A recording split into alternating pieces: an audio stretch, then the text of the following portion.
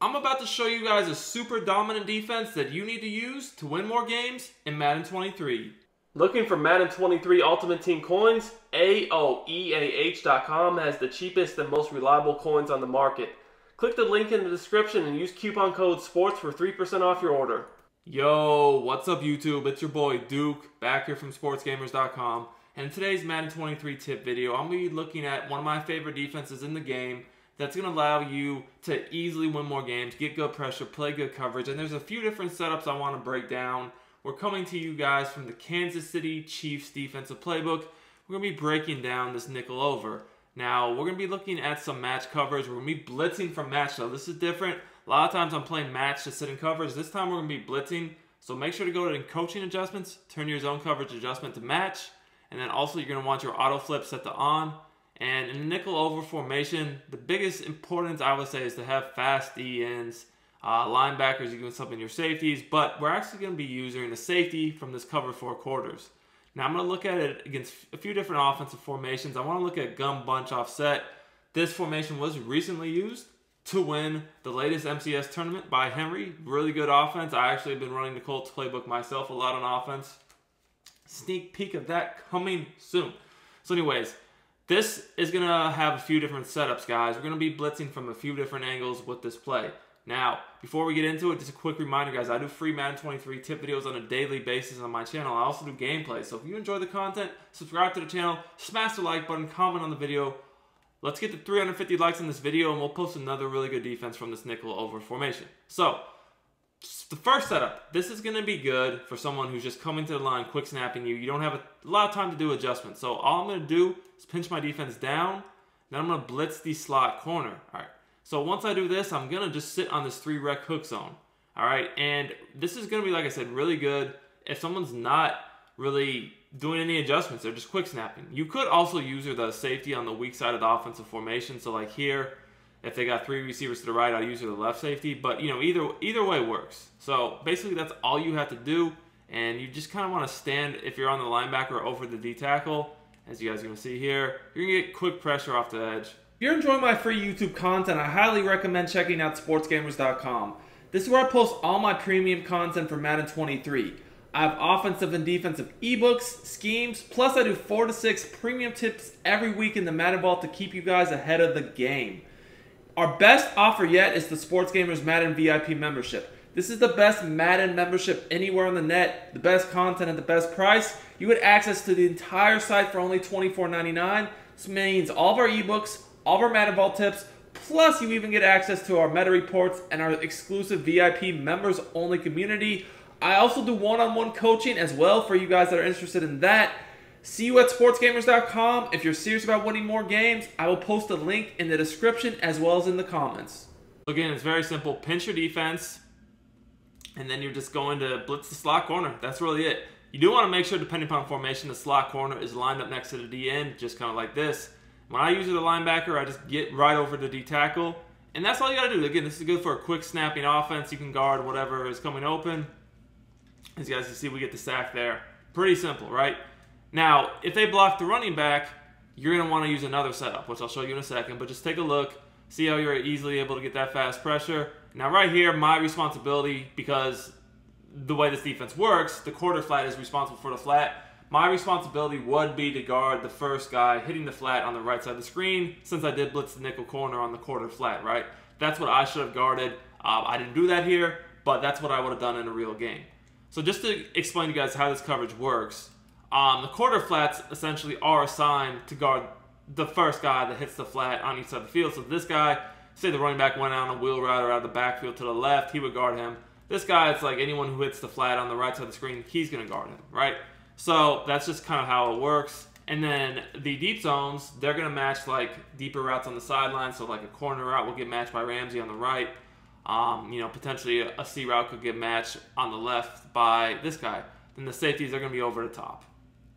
All right, so let's say they block the running back.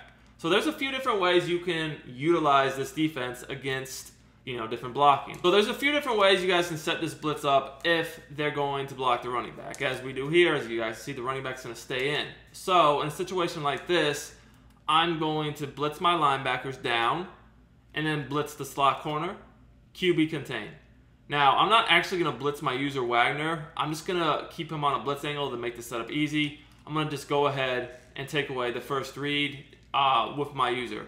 As you guys can see there, you're to get somebody free because we're rushing six, um, you know, now.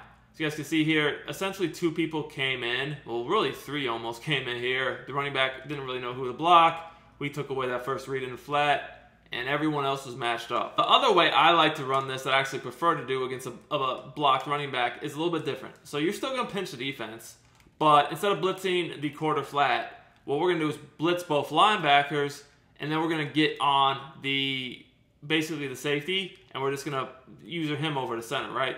Now, this allows you to keep the quarter flat on the strong side of the offensive formation, so you don't have to worry about the flat anymore, then you as a user, you just have to guard over the middle of the field, right? Now, as I mentioned, this defense will work against any offensive formation. So here you see we're in spread.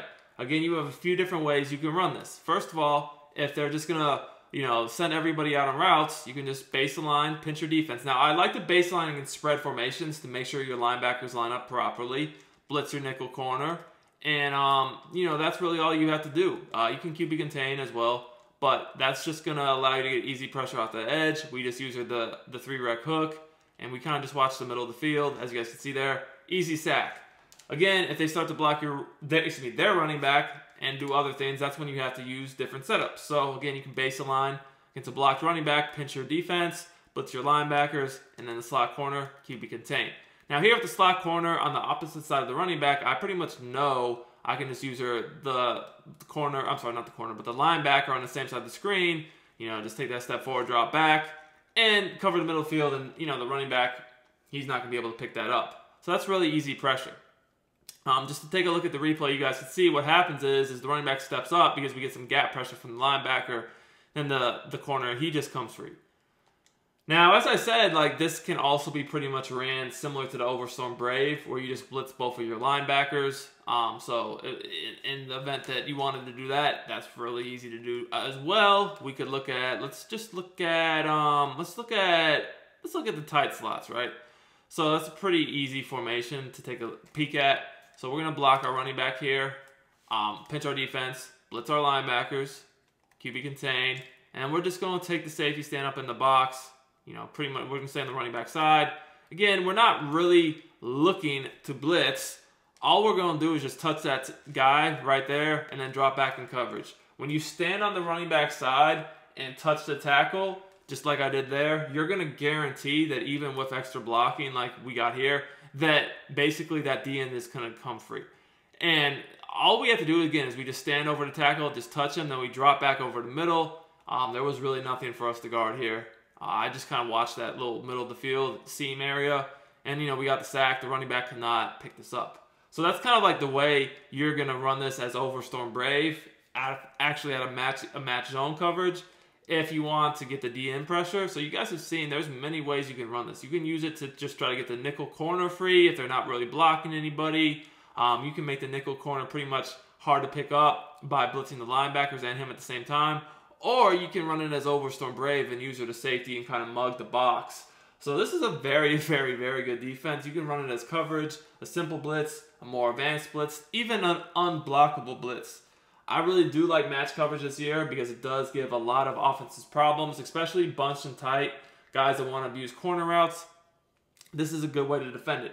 One of the key attributes you're going to want to look at your defenders for when you're running match is actually going to be play rec and awareness.